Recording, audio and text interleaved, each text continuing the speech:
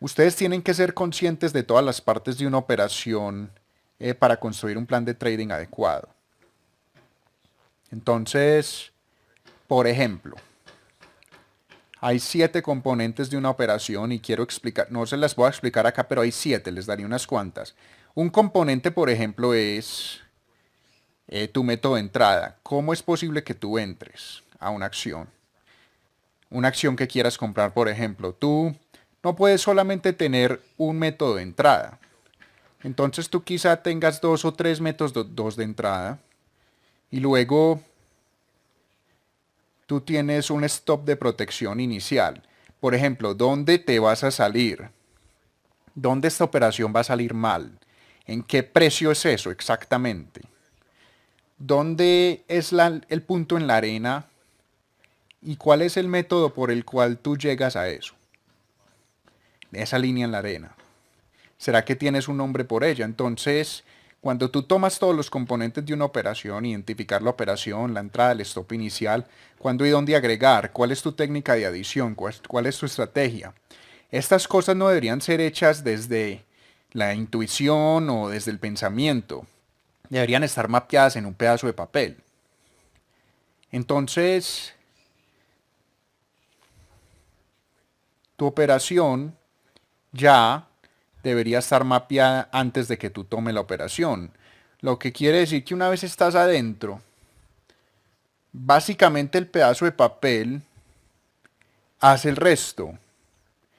Eh, básicamente el, el plan determina dónde está tu plan de protección. El pedazo de papel determina dónde tú adicionas y por cuánto. El pedazo de papel determina cuándo y dónde y por qué método tú tomas ganancias. ¿Y cuánto tomas? ¿Tomas la mitad? ¿Tomas un cuarto? ¿Será que tomas todo? Todo eso tiene que ser planeado. Eh, ¿Cómo ajustas el stop inicial? Entonces, a medida que tu operación empieza a funcionar, no pueden mantener el stop inicial en el mismo lugar. Tienen que mover eso. ¿Y por qué método mueven eso? ¿Dónde lo mueven? ¿Cuándo tienen el derecho a moverlo? ¿Será que es posible mover eso demasiado rápido o moverlo demasiado lento? Entonces todo esto tiene que estar mapeado en un plan de trading de tal manera que es casi como seguir un, un guion. Ok, entramos con base en esto por aquí. Yo pongo mi stop de protección por aquí con base en esto. Yo agrego un lote inicial a mi posición con base en esto yo tomo la mitad de mis ganancias con base en esta regla de toma de ganancias y yo ajusto mi stop con base en esta métrica. Y cuando ustedes empiezan a hacer trading específicamente de esta manera, donde todas sus operaciones empiezan a ser mapeados de la firma a fórmula a cada operación y luego ahí es donde su consistencia empieza a entrar. No puedes ser consistente haciendo tus operaciones de forma inconsistente. Eh, es como si hicieras esta operación de esta forma, otra operación de otra y otra incluso de otra forma. ¿Cómo es posible que tú ganes consistencia jugando lo tuyo eh, de forma inconsistente? No. Toda operación debería ser forzada a través de la misma fórmula. Toda operación debería ser forzada a través de el mismo template. Toda operación debería ser pasada por el mismo plan de trading, de tal manera que en el otro lado del plan afuera salga aquella operación que es la misma que la operación anterior esta operación fue la misma que la anterior y esta operación fue la misma que la anterior. Y ahí es donde tu consistencia estará. Pasando cada operación de la misma forma para que se vea igual al final de cada operación. Entonces necesitas un plan para poder ejecutar tus operaciones y tu plan se convierte en el reemplazo de tus pensamientos, en el reemplazo de tus sentimientos y de tus creencias. Tus pensamientos, sentimientos y creencias son tus enemigos, te fallan, creen de esta manera en un momento, luego de otra manera en otro momento, ustedes se sienten así ya, pero se sienten de otra manera dos segundos después, ¿cierto? son, son volátiles, los pensamientos y los sentimientos van cambiando. Tú nunca vas a poder ganar consistencia operando con base en lo que tú crees y con base en lo que tú sientes. Tú tienes que dar el control de la operación a tu plan. Entonces tú te vuelves el monitor del plan. El plan se convierte en el trader tú tienes que desaparecer o irte de cierta manera. Y esos son los traders que hacen el mejor progreso. Los traders que tienen un plan de trading sólido y el plan se convierte en el reemplazo de sus pensamientos. Ahora tú puedes permitir que tus pensamientos corran, simplemente no actúes sobre ellos. Son tu enemigo. Eh, si tus pensamientos fueran tan grandes y tan buenos, no estarías aquí. Tú no necesitarías ayuda o guianza pero es que tus pensamientos son tu peor enemigo. Si trading basado en tus pensamientos funcionara, nosotros no necesitaríamos una guía o entrenamiento o nada por el estilo. Pensaríamos y haríamos dinero. Pero eh, son los pensamientos los que se meten en nuestro camino. Entonces yo quiero que tus operaciones sean mapeadas antes de tú tomar una operación.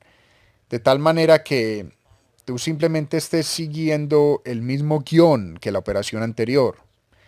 Entonces tú sabes exactamente cuándo vas a agregar, sabes exactamente cuándo vas a elevar el stop, sabes exactamente cuándo vas a tomar la mitad de las ganancias, tú sabes exactamente eh, dónde vas a salir por stop, ¿me entiendes? Esto ya está mapeado y otra cosa que les diré sobre esto Otra cosa que les diré sobre esto. Ustedes necesitan una, una pequeña cantidad de escenarios jugables, ¿me entienden? Entonces digamos que por ejemplo ustedes tienen cuatro. Tengo cuatro oportunidades de compra bien definidas, lo que quiere decir que cuando tú ves estas cosas, ¡pum!, no hay ninguna pregunta, simplemente le das al botón de compra. Ustedes necesitan por lo menos cuatro, ¿ok? Cuatro cosas sólidas que no, que sean eh, compras que, en las cuales yo no tenga que ni preguntar. Cuando les pregunto a los traders cuáles son esas cuatro cosas que tú compras, la mayoría no me responde porque están comprando sus sentimientos en ese momento. ¿Sabes qué están comprando? Ay, yo creo que Facebook, creo que Facebook va a subir a partir de aquí. Eso no es un ítem. Eso es un pensamiento. Eh, tú, no, tú no le darías a, la, fortuna de tu familia a alguien que, que, te dice, yo creo que, te, que, puedo, que me va a ir bien con tu fortuna, no. O yo siento que puedo lograrlo, ¿cierto? Tú no harías eso. No hay que pensar y sentir en el trading real, simplemente hay identificar y hacer esta es una de mis compras, ¡boom! Ahí no hay que pensar en absoluto, ¿cierto? Entonces tú necesitas esas cuatro cosas sobre las cuales no tienes que pensar. ¿Qué son? ¿Será que ya las tienes definidas? Y entonces, ahora simplemente es esperar. El juego del trading debería ser llamado esperar, no debería ser llamado trading. Yo estoy esperando que una de mis cuatro cosas aparezca. Yo no estoy buscando. Yo no estoy yo estoy esperando. Estoy esperando a que ellas vengan a mí. Estoy esperando a que una de estas cuatro cosas me suceda a mí. Si yo opero Apple, estoy esperando que una de estas cuatro cosas suceda con mi Apple. Si yo estoy operando Microsoft, estoy esperando que una de estas cuatro cosas suceda con mi Microsoft. Entonces yo espero. Y cuando sucede, ¡boom! ¡boom! Le damos al botón de compra y ahora, después de darle al botón de compra, la operación ya no es tuya. Puedes pensar lo que quieras, puedes sentir lo que quieras, la operación ya no pertenece a ti, pertenece a ese pedazo de papel del cual te hablé. Entonces ese pedazo de papel te está diciendo a ti dónde está el stop, ese pedazo de papel te está diciendo a ti dónde agregar a tu jugada, ese pedazo de papel te está diciendo a ti cuándo tienes el derecho a mover tu stop hacia arriba, ese pedazo de papel te dice cuándo llegó el momento de tomar ganancias y por cuánto deberías tomar tus ganancias, un cuarto, la mitad, entero. Ya todo está mapeado en el pedazo de papel. Entonces cuando tú haces estas cosas, tengo cuatro cosas sobre las cuales actúo en el pedazo de papel. Una vez actúo sobre ellas se acabó mi trabajo, el pedazo de papel domina el resto, boom, ahora estás operando como un profesional. Y cada operación que sale de ese proceso vuelve más profunda tu experiencia. Cada operación que tú ejecutas a través de ese proceso, tú sales de esa experiencia un poco mejor.